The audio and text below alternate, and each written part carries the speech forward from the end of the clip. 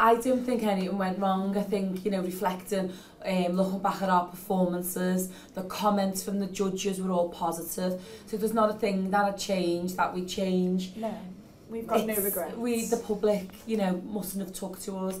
Some people just don't like change, but we're lucky we come this far. We got to do the live shows. You made Yeah. Robbie Williams cry. Yeah, we did. There's a positive to take out of this, girls.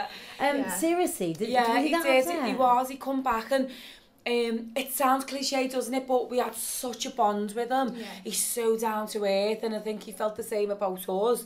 Um, he come back to say, you know, this isn't the end. He definitely wants to work with us, and he loves us so much. He's going to miss his scouse friends when he comes round the house. and then he cried because yeah. we were all crying oh, in and it was.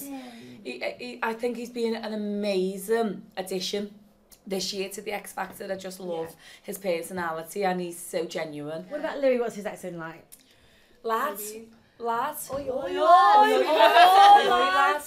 Smashed it, lad. You're all right, Oh, lads. buzzing, Smashed it, buzzing, buzzing. buzzing. Do you think that Louis is? He's been quite. I don't know. He's the somber one, isn't he? Well, I think he's the new Simon Cowell. Yes. I think Simon has mellowed, hasn't he, a little Yeah. bit, and Louis took over. Yeah.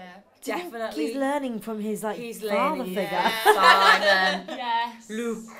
I am your father. Literally. What's it been like in the house? Genuinely, a stupid question, but have you all been in that house? Yeah. Yeah.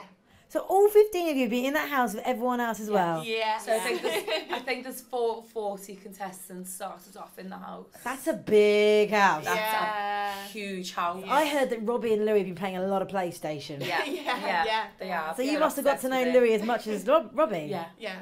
And what's he like? Because do you think he's been affected by fame? Do you think he's been Oh. affected by being in One Direction? No, No. not No, not It's a so bit. down to earth, Yeah. isn't he? Yeah, lovely. Dead genuine. He He just nice chills in the house like everyone else. He'll just come He and say doesn't hi make a scene, does No. he? Just No. because sometimes you're just eating eating your cornflakes and you just go like that, and he's He's just, there. He's and just like, oh hi. there's, there's no huge entourage. It's just Yeah. Him and his dogs. I was having a nap in the living room and I just woke up and he was Slobber. there and I was like, oh hi Louis. Yeah, slobber. just like you know, just so casual. Haven't I definitely think we made history on the X Factor being the first choir. So I think we can make history again by being the first choir to tour. The staff in the school at home